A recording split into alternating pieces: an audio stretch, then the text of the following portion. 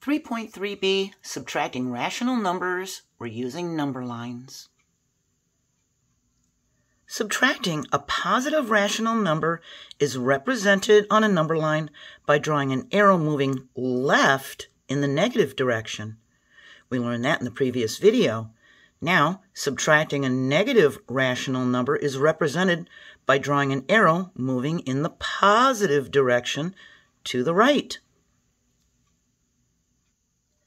We can use subtraction of a negative number to represent an increase. To subtract a negative rational number on a number line, we start at a point for the first number and draw an arrow moving the positive direction for the second number. So we have a negative 2, so we start at negative 2. Here's 0, so that's negative 2. Draw our point. And we're subtracting a negative 3 and 5 tenths. So we're going to head towards the positive one, two, three, and a half. It's going to put us at a positive one and five tenths. That is our difference. So remember, the first number, the one we draw the point at, is the minuend. The second number is called a subtrahend in a subtraction problem. And of course, the answer is the difference. So we have a minuend and a subtrahend. If this subtrahend is negative, we're going to move in a positive direction. So here's an example of a word problem. In March, the water level of Lake Michigan was 3 fourths foot below normal. By the month of May, the water level was 1 half foot below normal. What was the overall change in the water level? So we need to subtract to find the difference in water levels our equation is going to be a negative half, which is May's level, minus a negative 3 fourths, which is the initial March level, the earlier level. We draw a point at negative half.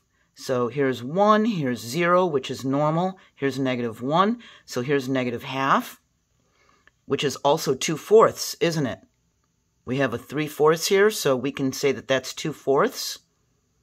We draw an arrow, the absolute value of negative 3 fourths, which is 3 fourths, up in the positive direction.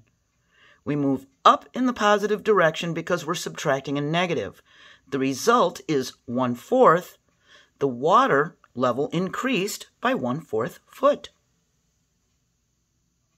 So let's understand this, how we ended up with that equation. We know that in March it was 3 fourths foot below normal. That's the earlier value. Then in May, a couple months later, it was a half foot below normal. So it's still below normal, but by how much? The May is the later value. And one half foot is like two fourths foot if we want to give them the same increment, the same denominator. So we're looking for the overall change in the water level between March and May. And to find a change over time, we subtract the earlier value from the later value. So the later value is going to be our minuend. That's how we ended up with the 1 half as the first number. Now we're going to subtract a negative 3 fourths, and we got a positive 1 fourth. If that's still confusing to you about the earlier and later values, to find the change over time, we subtract the earlier value from the later value. So picture this. A movie began at 1 p.m., that's the earlier value, and ended at 3 p.m., that's the later value. To find the change in how many hours went by, what was the overall change in time, we would start with the later value, 3 p.m., and subtract the earlier value, 1 p.m. We know the movie was two hours long. The overall change in time was two hours. Do you see how we went from the earlier value being listed first and then the later value? But then to find the overall change, we listed the later value as the minuend and took away the earlier value. So that's what they did in this problem. So subtracting negative numbers, we move in the positive direction on a number line to add the opposite. If we have 2 and 6 tenths, and we're subtracting a negative 3 and 2 tenths, we rewrite it as adding instead of subtracting the opposite of negative 3 and 2 tenths, which is a positive 3 and 2 tenths. Now we can just add them. We have 6 tenths and 2 tenths, that's 8 tenths. We have a 2 whole number and a 3 whole number, that's a 5 whole number. We have 5 and 8 tenths. And we draw, because this is subtracting a negative, we start at 2 and 6 tenths. This is drawn in tenths here, and we have six of them. So this is 2 and 6 tenths. And we move in a positive direction. The absolute value of 3 and 2 tenths, which brings us to 5 and 8 tenths. When we add a negative number, we move in the negative direction on a number line. So if we were adding, notice it says adding a negative, we would have gone to the left. But because we're subtracting a negative, we have a minus sign, minus sign, we're going to move in the positive direction. Sometimes there'll be words in our textbook that are completely confusing. So this is actually from the textbook. Let's see what it says. The statement is, to subtract integers, we rewrote the difference as the sum of the first integer and the opposite of the second and used the rules for adding integers. That's a lot of words just to say we added the opposite and then used the rules for adding integers to use the correct sign for the answer. We learned about adding the opposite in video 1.3c. So what they're saying is to subtract integers. Okay, we have negative 5 minus a negative 3. So we're subtracting integers. These are both integers.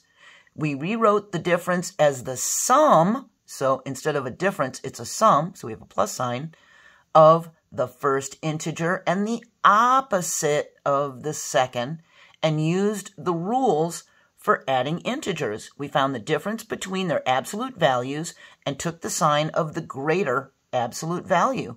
So we have a negative 2 for that sum, which means if we are subtracting a negative, we're going to have a negative 2. Here it's telling us to use a number line to find the difference. We have a positive 1 and 5 tenths, and we're subtracting a negative 75 hundredths. So the first thing we do is we draw the point for the minuend. Here's 0, here's 1, so that's 1.5. That's 1.5. Then we move in the positive direction because we're subtracting a negative. We're going to move in the positive direction 75 hundredths, which is going to be 3 fourths, right? And these are split into 1 fourth increments. They're going to go 1 fourth, 2 fourths, 3 fourths. So we're at 2 and 25 hundredths, or 2 and a fourth, for our answer. We can look at this and think, oh, we're subtracting a negative. We can add the opposite. We can do 1 and 5 tenths plus 75 hundredths. So for subtracting integers or rational numbers on a number line, we have the first number is the minuend, the second number is the subtrahend, and the answer is the difference, of course. If the subtrahend is positive, here we have a positive 1 minus 4, the arrow faces left to the negative direction. We have a positive 4 that we're subtracting. So our arrow is going to face left to a negative direction. We're taking away 4 from the 1. If our subtrahend is negative, if we have a 1 minus a negative 4, the arrow the for our number line right above our number line is going to face right to the positive direction. If you can put this into your notes, it's going to help you if you have homework with number lines and subtracting negatives or positives shown on a number line. We're finished with part B. We're going to move on to part C, which is adding the opposite for rational numbers. And the opposite is the additive inverse, isn't it? Remember, if you're ever feeling lost, you can always rewatch the video or watch the previous videos to catch up and figure out what you missed. Have a great day and join me for the third part of the lesson. Bye.